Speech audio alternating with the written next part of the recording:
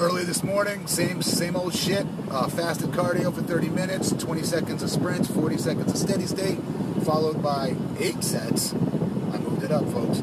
Eight sets of hanging leg raises to failure.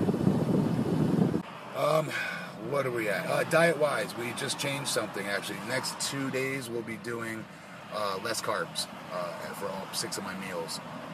Cranky as crap when that happens, but it's part of the process. Um, as you can see by my sweet photo earlier in the elevator there at Orlando Body Movement and Therapy, I had a session there with Kevin um, working on my lat spread, so we had to do some serious grafting on that as well as my chest.